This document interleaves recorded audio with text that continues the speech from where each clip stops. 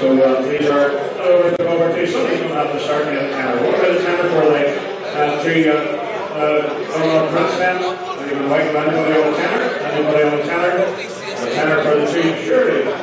Some of our top road racers wants to wear the tenor. Tenor it is in the back. Thank you very much indeed. We certainly have, uh, it'll be worth, uh, it'll be worth the tenor, is it? Going to start in the tenor for Glenn Irwin with Alastair Seeley and uh, Lee Johnston coming right in behind. Lovely.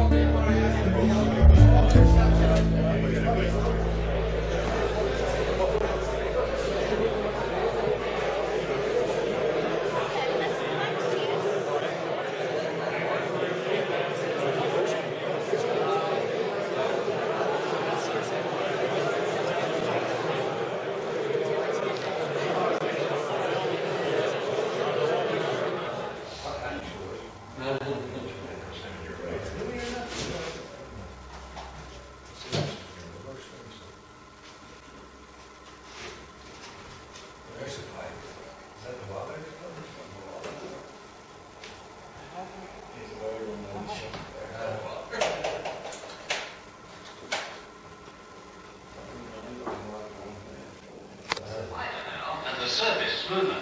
But otherwise, the corner is almost unchanged since the first TT race of 1907.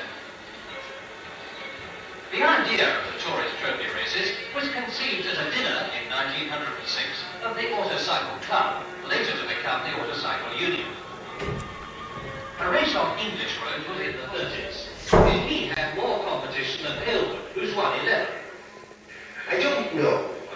I think possibly there was more competition high up, possibly there were more of us on the top line at any given moment. Uh, I realise that this has been taken down